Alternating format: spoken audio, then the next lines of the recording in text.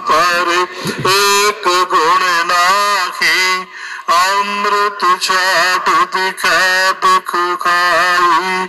माया मोह परम पुले सुत दारा सो प्रीत एक उत्तम पंथ सुनो गुरु संगत ते है मिलन तुझा त्रास मिटाई। ਇਕ ਅਰਦਾਸ ਪਾਟ ਕੀਰਤ ਕੀ?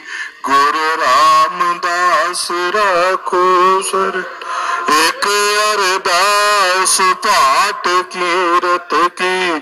ਗੁਰ ਰਾਮਦਾਸ ਰਾਖੋ ਸਰਣਾਈ ਸੋ ਕਹੋ ਤਨ ਗੁਰ ਸੇਵੀਐ ਅਨੰਸ ਸਹਜ ਸੁਭਾਈ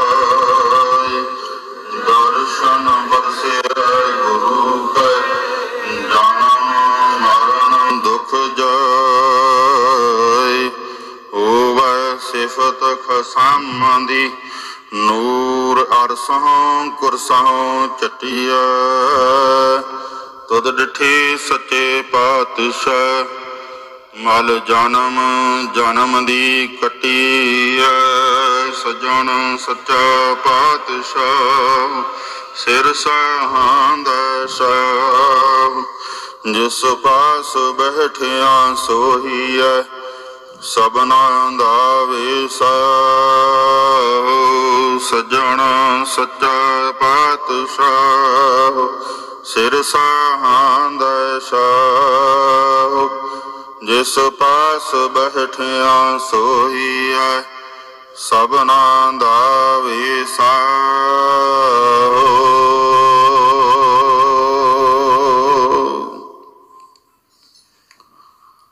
ਸਤਨਾਮ।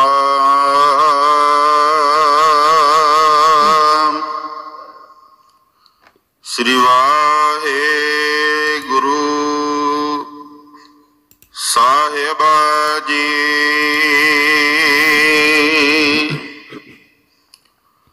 ਤਨਾਸਰੀ ਮਹੱਲਾ ਤੀਜਾ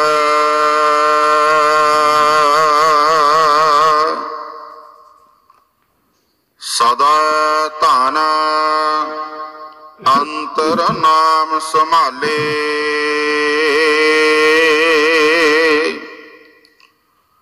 ਜੀ ਜੰਤ ਜਿਨ ਹੈ ਪ੍ਰਤਪਾਲੇ। ਮੁਕਤ ਪਦਾਰਥ ਤਿਨ ਕੋ ਪਾਏ।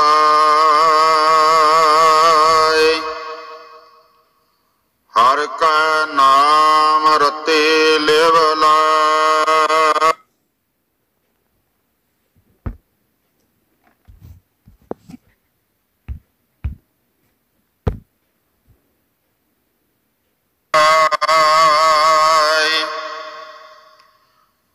ਸਦਾ ਧਨ ਅੰਤਰ ਨਾਮ ਸੰਭਾਲੇ। ਜੀ ਅਜੰਤ ਜਿਨ ਹੈ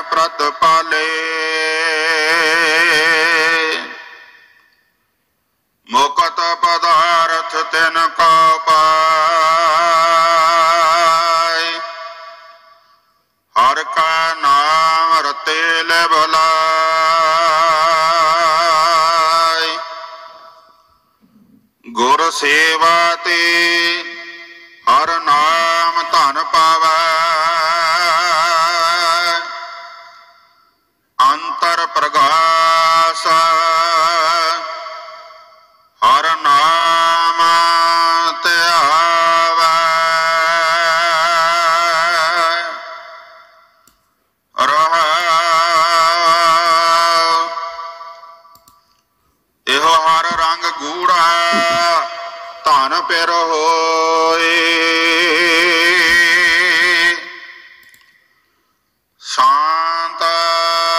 Rodrigo.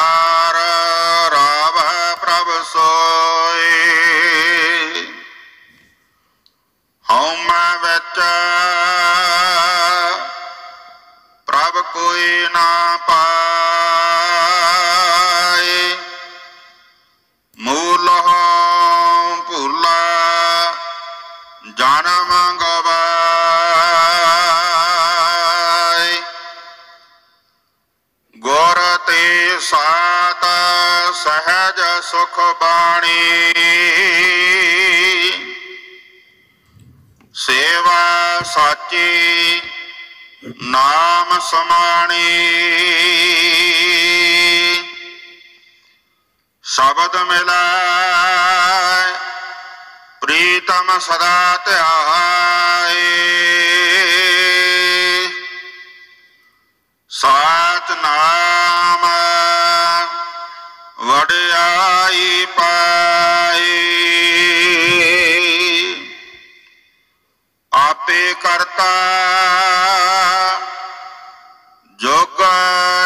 ਸੋਏ।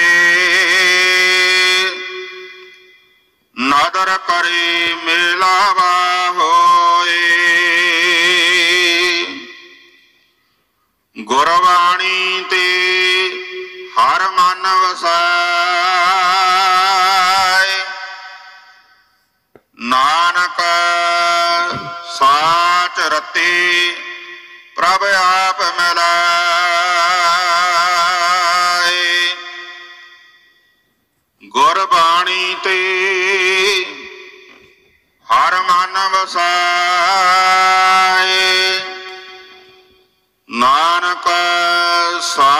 ਰਤੀ ਪ੍ਰਭ ਆਪ ਮਿਲਾਏ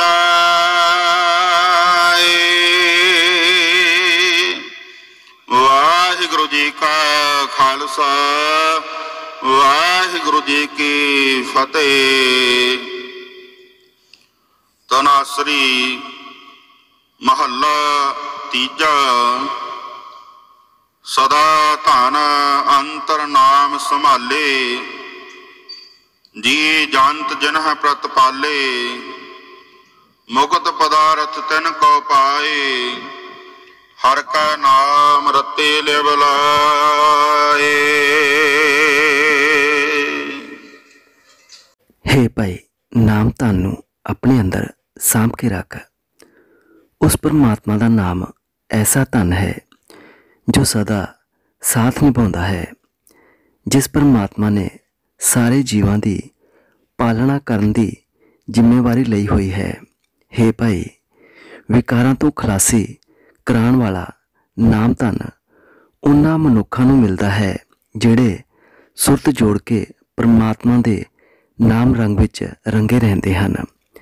ਹੇ ਭਾਈ, ਗੁਰੂ ਦੀ ਦਸੀ ਸੇਵਾ ਕਰਨ ਨਾਲ ਮਨੁੱਖ ਪਰਮਾਤਮਾ ਦਾ ਨਾਮ ਧਨ ਹਾਸਲ ਕਰ ਲੈਂਦੇ ਹਨ। ਜਿਹੜਾ ਮਨੁੱਖ ਪਰਮਾਤਮਾ ਦਾ ਨਾਮ ਸਿਮਰਦਾ ਹੈ। ਉਸ ਦੇ ਅੰਦਰ ਆਤਮਿਕ ਜੀਵਨ ਦੀ ਸੁਝ ਪੈਦਾ ਹੋ ਜਾਂਦੀ ਹੈ। ਰਹਾਓ। ਹੇ ਭਾਈ, ਪ੍ਰਭੂ ਪਤੀ ਦੇ ਪ੍ਰੇਮ ਦਾ ਇਹ ਗੂੜਾ ਰੰਗ ਉਸ ਜੀਵ ਇਸਤਰੀ ਨੂੰ ਚੜਦਾ ਹੈ, ਜਿਹੜੀ ਆਤਮਿਕ ਸ਼ਾਂਤੀ ਨੂੰ ਆਪਣੇ ਜੀਵਨ ਦਾ ਗਹਿਣਾ ਬਣਾਉਂਦੀ ਹੈ। ਉਹ ਜੀਵ ਇਸਤਰੀ ਉਸ ਪ੍ਰਭੂ ਨੂੰ ਹਰ ਵੇਲੇ ਹਿਰਦੇ ਵਿੱਚ ਵਸਾਈ ਰੱਖਦੀ ਹੈ। ਪਰ ਅਹੰਕਾਰ ਵਿੱਚ ਰਹਿ ਕੇ ਕੋਈ ਵੀ ਜੀਵ ਪਰਮਾਤਮਾ ਨੂੰ ਮਿਲ ਨਹੀਂ ਸਕਦਾ। ਆਪਣੀ ਜਿੰਦ ਦਾਤੇ ਤੋਂ ਭੁੱਲਾ ਹੋਇਆ ਮਨੁੱਖ ਆਪਣਾ ਮਨੁੱਖਾ ਜਨਮ ਵਿਅਰਥ ਗਵਾ ਜਾਂਦਾ ਹੈ।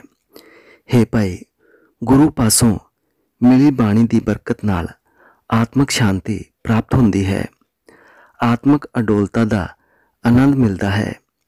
ਗੁਰੂ ਦੀ ਦਸੀ ਸੇਵਾ ਸਦਾ ਨਾਲ ਨਿਭਣ ਵਾਲੀ ਚੀਜ਼ ਹੈ। ਇਸ ਦੀ ਬਰਕਤ ਨਾਲ ਪ੍ਰਮਾਤਮਾ ਦੇ ਨਾਮ ਵਿੱਚ ਲੀਨਤਾ ਹੋ ਜਾਂਦੀ ਹੈ, ਜਿਹੜਾ ਮਨੁੱਖ ਗੁਰੂ ਦੇ ਸ਼ਬਦ ਵਿੱਚ ਜੁੜਿਆ ਰਹਿੰਦਾ ਹੈ, ਉਹ ਪ੍ਰੀਤਮ ਪ੍ਰਭੂ ਨੂੰ ਸਦਾ ਸਿਮਰਦਾ ਰਹਿੰਦਾ ਹੈ। ਸਦਾ ਸਿਰ ਪ੍ਰਭੂ ਦੇ ਨਾਮ ਵਿੱਚ ਲੀਨ ਹੋ ਕੇ ਪਰਲੋਕ ਵਿੱਚ ਇੱਜ਼ਤ ਖੱਟਦਾ ਹੈ, ਜਿਹੜਾ ਕਰਤਾਰ ਹਰੇਕ ਯੁੱਗ ਵਿੱਚ ਆਪ ਹੀ ਮੌਜੂਦ ਚੱਲਿਆ ਆ ਰਿਹਾ ਹੈ, ਉਹ ਜਿਸ ਮਨੁੱਖ ਉਤੇ ਮਿਹਰ ਦੀ ਨਿਗਾਹ ਕਰਦਾ ਹੈ ਉਸ ਮਨੁੱਖ ਦਾ ਉਸ ਨਾਲ ਮਿਲਾਪ ਹੋ ਜਾਂਦਾ ਹੈ। ਉਹ ਮਨੁੱਖ ਗੁਰੂ ਦੀ ਬਾਣੀ ਦੀ ਬਰਕਤ ਨਾਲ ਪਰਮਾਤਮਾ ਨੂੰ ਆਪਣੇ ਮਨ ਵਿੱਚ ਵਸਾ ਲੈਂਦਾ ਹੈ। हे ਨਾਨਕ ਜੀ, ਜਿਨ੍ਹਾਂ ਮਨੁੱਖਾਂ ਨੂੰ ਪ੍ਰਭੂ ਨੇ ਆਪ ਆਪਣੇ ਚਰਨਾਂ ਵਿੱਚ ਮਿਲਾਇਆ ਹੈ, ਉਹ ਉਸ ਸਦਾ ਸਦਾਥਿਰ ਪ੍ਰੇਮ ਰੰਗ ਵਿੱਚ ਰੰਗੇ ਰਹਿੰਦੇ ਹਨ। ਵਾਹਿਗੁਰੂ ਜੀ ਕਾ ਖਾਲਸਾ, ਵਾਹਿਗੁਰੂ ਜੀ ਕੀ ਫਤਿਹ।